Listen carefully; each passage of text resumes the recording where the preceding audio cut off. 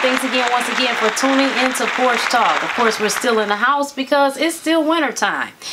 So, here's a little situation. Of course, I found my story from the shade room, as I always do. Two black high school students suspended after posting a video of white classmate using a racial slur. So just a little background on the story. I want to know what you guys think about this. Two black students were given a two-day suspension after reposting a Snapchat video of a classmate saying the N-word. According to BuzzFeed, the situation happened at Central Cabarrus High School in Concord, North Carolina, mm. after a discussion about gun reform turned into an argument. Gun reform. Hmm. The high schoolers were reportedly debating about Wednesday's National School Walkout and how the, they felt gun laws should put more restrictions on who could buy them. Kamari Harris Jackson, a 15-year-old sophomore, posted a video on Snapchat and that resulted in a white female student posting a response video saying they're putting laws on who can purchase a gun. No nigger. Well, Harris Jackson and her best friend Trinity Smith took offense to the remark and decided to repost their video on their Facebook and Twitter accounts. I would've.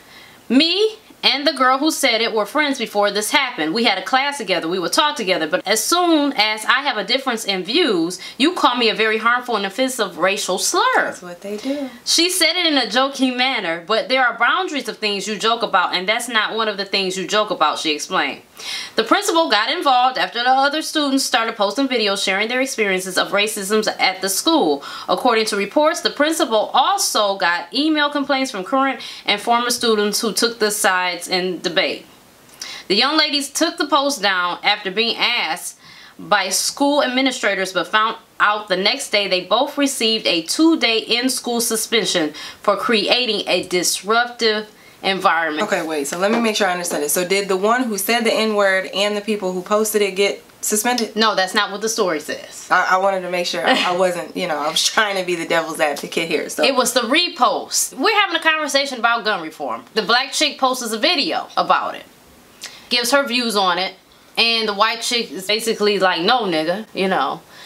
Um, that is not appropriate. Why does she think we might be friends, boo, but you can't just say anything? That's an oppressive word, you know, that your people use to oppress my people with. I mean, we use it, but we're not getting, that's not the argument of today. Let's talk about racism or race appropriation. Look, here we go. Uh-oh, cultural appropriation. Race vocabulary appropriation. Oh, right, right, right, yeah. Race, I'm making this up today. So race vocabulary appropriation. Right. That needs to be a thing. You heard it first on Rocky Road Productions, Correct. LLC. we can say certain things you can't. I think it's good that the students are talking about this whole gun thing. It shows that they're aware and they're seeing what's going on and they know it's a problem. Their parents are probably talking about it, no doubt. I mean, because usually kids bring them from home and they bring them into the school, so that's good. But I don't understand how the other two that posted it they weren't the ones that got suspended. I mean, not posted, I'm sorry. The one that said the remark, the repost, and she gave her remark on it saying the N-word she should have gotten in trouble. Not the ones who were just minding their business talking about it or whatever. I just think that's so ridiculous and I think that is further making it okay. I think it's sending the message that, oh, it's okay that you got called a nigger, but the problem in this situation is that I was being bothered with too much chaos and parents calling or writing or whatever, and I just don't want to deal with it, so I'm going to suspend you guys because of your outrage on the matter. It caused this disruption. Well, they should have the right to be outraged, and what does their Twitter and Facebook accounts even have to do with fucking school? Last, yeah, I'm sorry. if, if, if, if it's about that, then fucking suspend the girl that said nigger. Do that. Last time I checked, Twitter and Facebook and Instagram didn't have shit to do with school. That's what I thought. Right.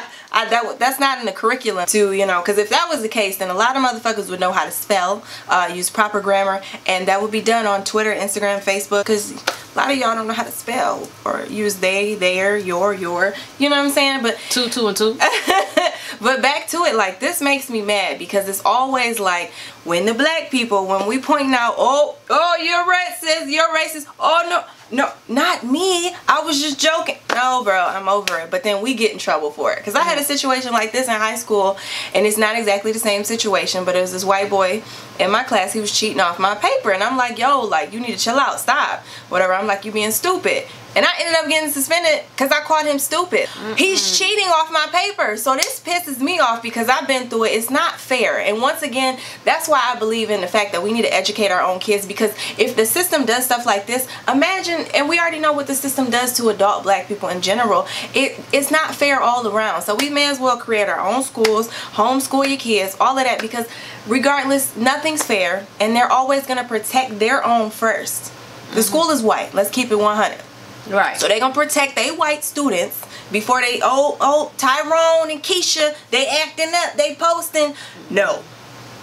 No. I think to your point with the whole schooling thing I think not me personally I don't want to open up a school in my home because I don't want to do that shit. I'm career focused. It doesn't mean that I don't care about my kids and their education. It's just that I don't have that's everybody has their forte. Everybody has their interests. Everybody has things that they're good at. Unfortunately, I wouldn't be good at that. I'd probably be thumping my kids upside the head before I knew it.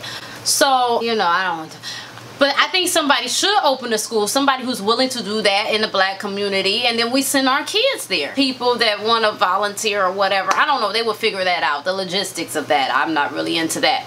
But that's just pretty much the story. You guys let us know what you think, and thanks again once again for tuning into the Porch Talk. Bye!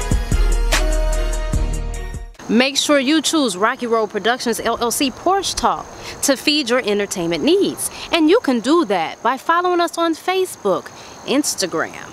Make sure you like this video and share it with all your family and friends. Tag somebody in it, why don't you?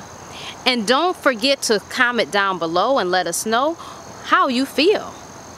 And before you leave, make sure you subscribe. That's right. You'll catch us every week.